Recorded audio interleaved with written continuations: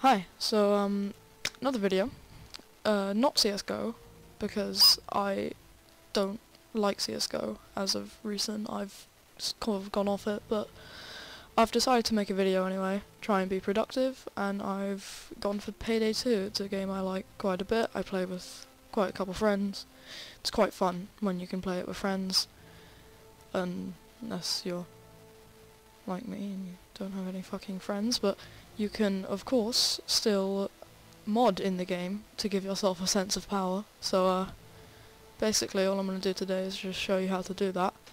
But, on a serious note, I know that there's a lot of controversy around whether it's justified that you can mod within not just Payday 2 but video games in general. And I'm just going to tell you right now that in my opinion, it's okay to mod if you're not going to be ruining the game for other people against their will.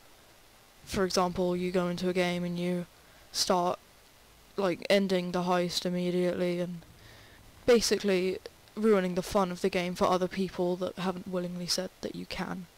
So I'm not supporting ruining the game. I'm supporting having a fun time for yourself while also enjoying the game.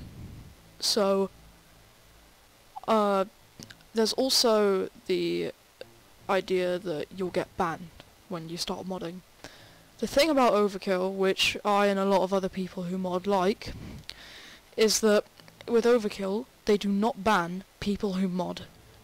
Unless they're hacking other people's accounts, taking over their accounts, taking things away from people, hurting the community, and destroying the the game basically for other people. So sorry about that. Anyway, like I was saying, Overkill don't ban people for cheating unless they're ruining the fun aspect of the game for other people. And not really that, just taking over people's accounts really. So you're perfectly allowed to mod, like you see here I've got Silent Assassin, Beardlib, Perfection, Payday 2 BLT. I've got a lot of things and you know, I've not been banned. You can see all of these weapon extensions. I've not been banned. If I got banned, I may not, I may appeal the ban, but I'm not going to get banned, so that's not something I don't have to worry about.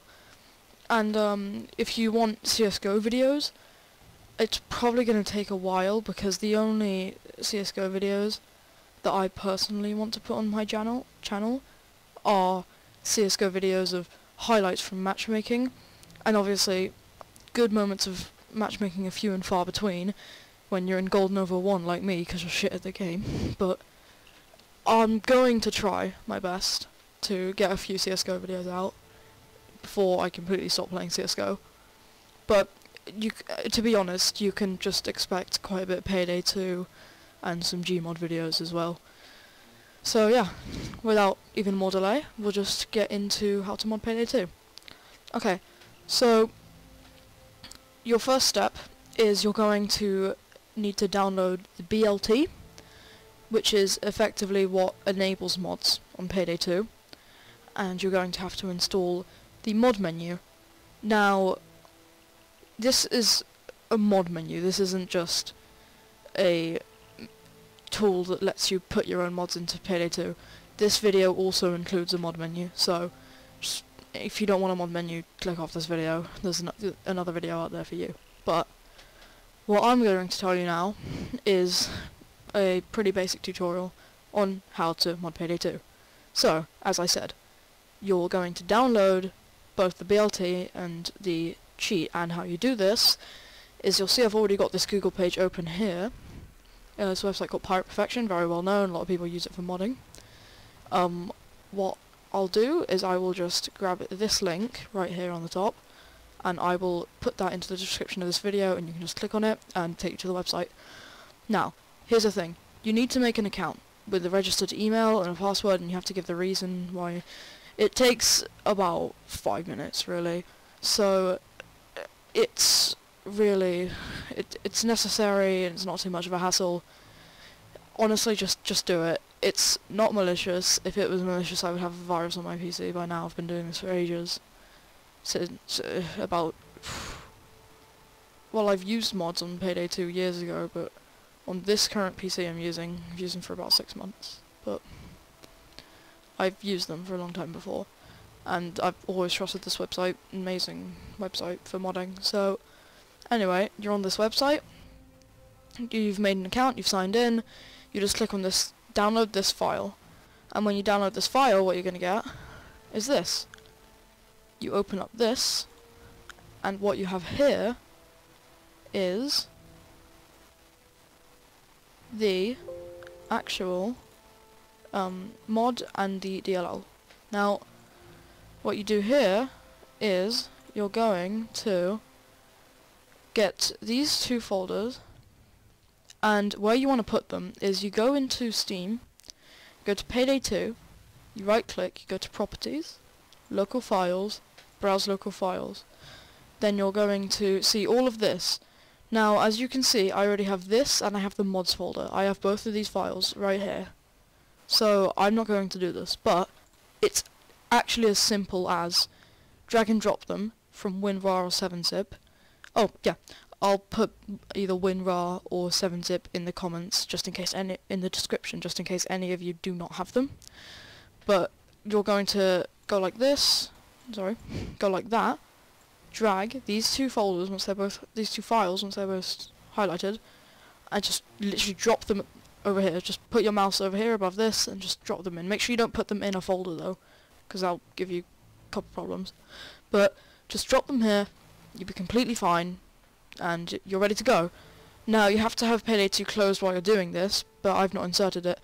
It won't do, it'll just take some time to extract if you're inserting it yourself. But, say you've done it now, you close both the game directory and the WinRAR file, get into Payday 2, um, you've relaunched Payday 2, and it should greet you with a message saying uh, something on, along the lines of, thank you for using Pirate Perfection, and you'll see this here, and it will most likely check for updates for the BLT and Pirate Perfection.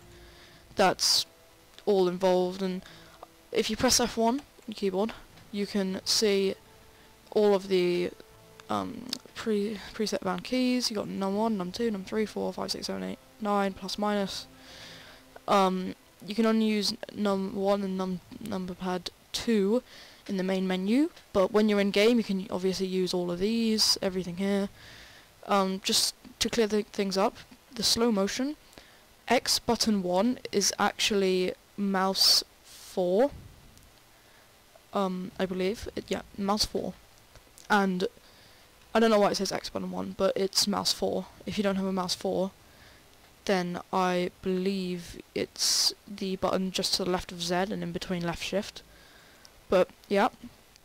Anyway, I'm just going to quickly show you how this mod menu works. You get Pirate Perfection set up, all of the cheats and flying and stuff, and then you exit this, and you have to go to... press. You're pressing 1 on your number pad, make sure you have numlock on.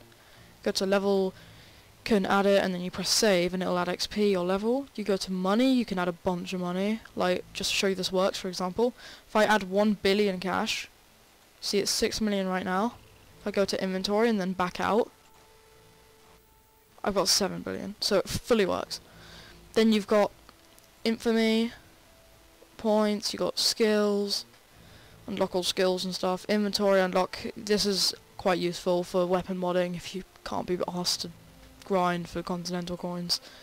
And then you've got other, which is just achievements actually, and you got mask colors, materials, everything there. Um, yeah, that's about it.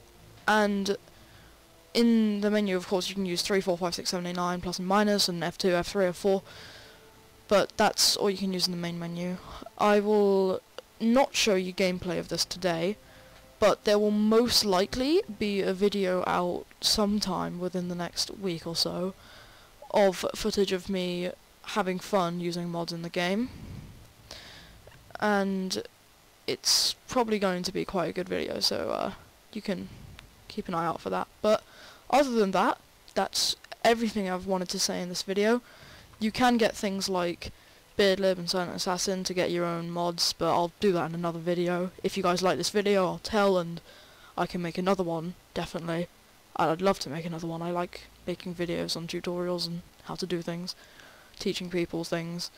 So, yeah, that's it. if you got any problems, just say in the comments. I'll do my utmost to help you. And yeah, that's it. See you guys in the next video.